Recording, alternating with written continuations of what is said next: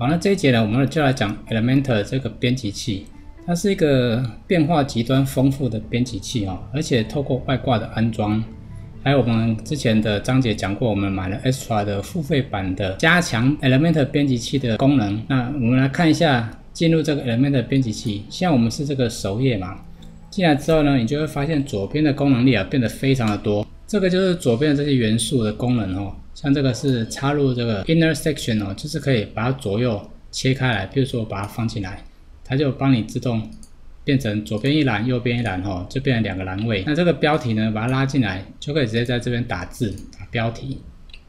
那我们先把我们这些元件哦，就先删掉，我们来分析它的就好了。删掉的时候就是直接。把你这个元件点一下，这边有一个这个右边按钮，这边按删除，按右键删除就可以了。可是不要删错哦，因为我刚刚是新增这一个，可是现在找不到了哦。你你可以把它自己随便拖移哦，拖下来这边，OK，找到了，按右键把它删掉。好，那我们先来分析它本来的样板就好了哈。我们先不要去加自己的样板，我们现在分析一下。首先呢，我们看一下这个 section 啊，就是最大的方框。好，然后底下这边又一个 section，然后底下这里又一个 section，啊，这个叫段，啊，这边有个 section，好，这边有个 section，啊，结束，好，到这边就结束了。所以它的最大的组成元素就是 section，最大面积的组成就是 section。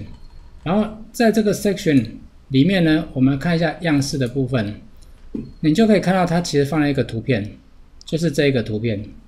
诶，那上面的 Air Pro。X 三，那这个字是什么东西？怎么会在这里？好，我们就把它点进去看一下。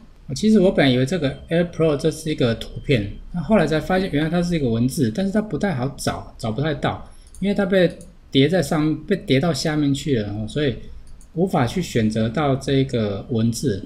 那我们先来看一下这个，哦，把它选一下，发现这是一张透明的图片，哦，所以它透明图片的意思就是说。它的底图如果有什么颜色的话，就会出现在上面，有没有？哦，所以这个方格子是透明的部分。那我们刚刚看到这个 section 它的底图样式的地方，看到它的底图是这张图片，所以是这张图片。那上面呢叠了一个这个鞋子，那鞋子本身有透明度，所以会呈现它的底图。那我们来看一下，如果我把这个鞋子按删除的话，你会发现，哎，这张这个文字啊，总算出现了。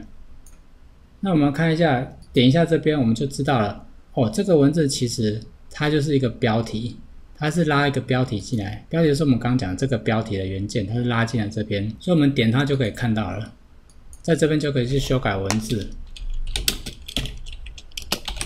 这是标题，好，这样就修改完了。哎，可是刚刚那张图片被我们删掉怎么办？哦，没关系，我们就到这边来，自己再拉一张图片进来。然后这边选择图片，然后找一张鞋子，按插入就可以了。然后你会发现啊，这张图片它没有透明度诶，它没有透明度，没有去背就对了。所以没办法，我们一定要找回原本的那一张、那一张、那双鞋子啊，好像是这一张吧。你要看一下这个图片，如果是 PNG 档的话，它才会有透明度。如果是 JPG 档的话，啊，像这个 JPG 档的话，它是没有透明度的，所以要找有 PNG 的，它应该是有透明度的，因为只有 PNG 档跟 GIF 图片档才可以用透明度来做显示。好，那我们用这一张，这个也是 PNG 哈，我们一开始是这是蓝色的嘛，我们故意选这一张，看一下是不是透明度哦，果然是有透明度的。修订记录，然后回到之前的步骤。好，回到我们之前的步骤，它要记录每一个步骤。那最下面是最刚开始，最上面是最新的步骤。所以我回到这张图片还还存在的步骤。啊，所以你就知道了它的元素就是这是一个标题，然后这是一个照片，这边都会有写这是一个图片，然后这是我们刚刚自己新增的，我们可以把它删掉。好，接下来呢，这是一个按钮。啊，你把它点一下，看一下这是一个按钮。好，接下来我们再看下下面这个 section，好，一样点它，然后发现它是一个标题，然后下面这个点它，它也是一个标题哦，这边下面这个把它点开来，它也是一个标题，然后下面这个元件呢，我们把它点开来看一下。哦，这个就比较特别喽。这个是 Wu Products，就是 WooCommerce 的购物车里面的产品项目，而且它会轮播。诶，那我们来看一下这个 Wu Products 到底是哪一个元素啊？我们把它点这个九宫格来看一下，这边有很多，有很多，可是有锁头的你是不能用的。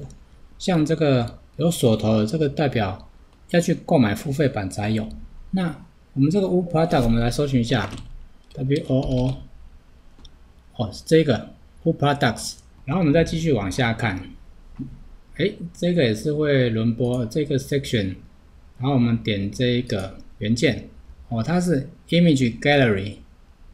Image Gallery 是图片的，搜寻一下 I M A G E G A，哦，这个，哦，你看也是 U A E，也是付费的这个外挂。然后它多出来的 Element 的功能，否则原本的 Element 免费版是没有这个功能的哦，所以它会轮动。然后再看一下右边这个元件，啊，这个元件就是 Info Box，我们来选择看一下 Info Box 是什么。哦，你看也是 UAE，也是这个付费版的 Extra。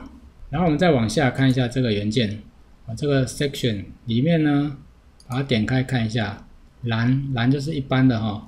这个把它点开看一下，这也是标题零一，然后底下，哦动到了，把它拉回来。底下这个呢就是图片方框，我们看一下，图片方框是付费还是免费呢？图片方框，哦这个，哦这是免费版本的就有了，所以免费版就是你看它。右上角都没有写任何标签哦，这是免费版本就有了。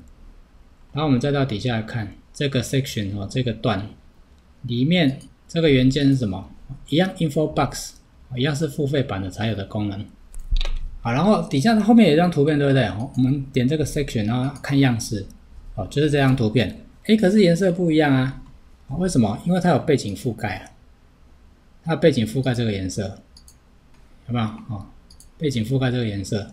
等于是套上一层滤镜的意思。好，再来看底下，这样就结束了。哦，所以 Elementor 编辑器呢，它就是从左边这些元件把它拉进来做编辑的。那它的功能有非常的多。我们看基本啊，就是免费版它就有这些功能到这边。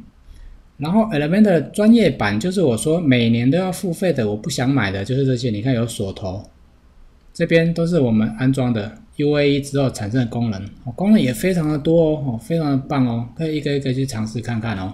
所以你可以从每一个范本去观察，他们用哪些元件呈现出你要的效果，然后跟着去模仿学习就可以了。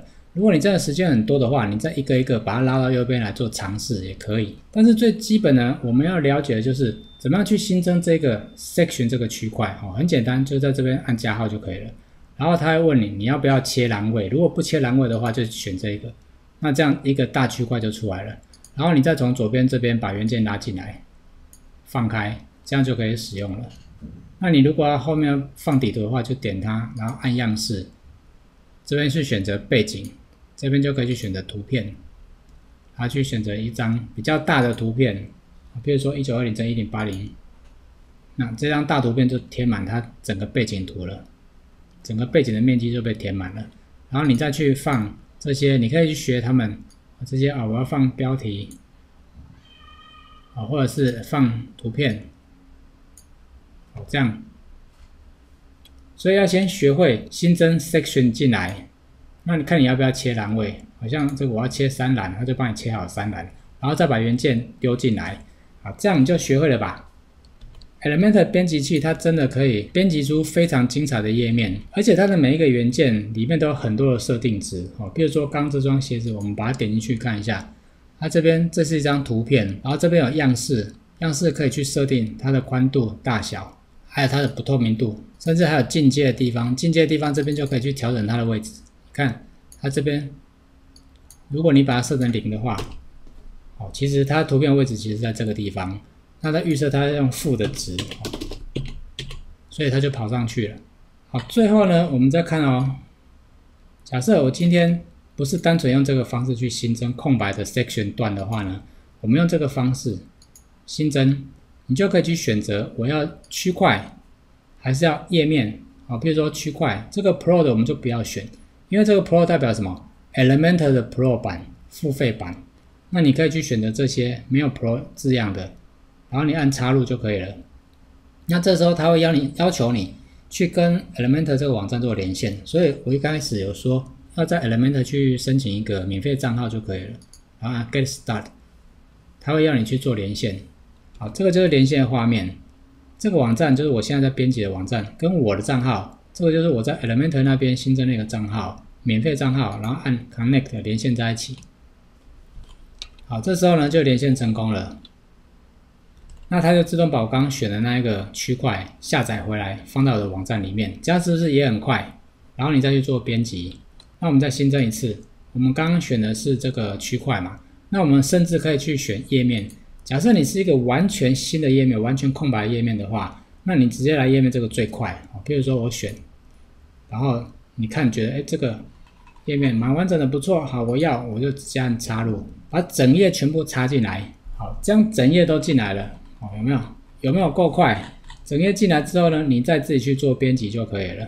好，那我们最后最后再讲一个，如果你要做一页式网站的话，所谓的一页式网站就是上面不要有这个选单，甚至我下面连这个页尾我也不要，那怎么做呢？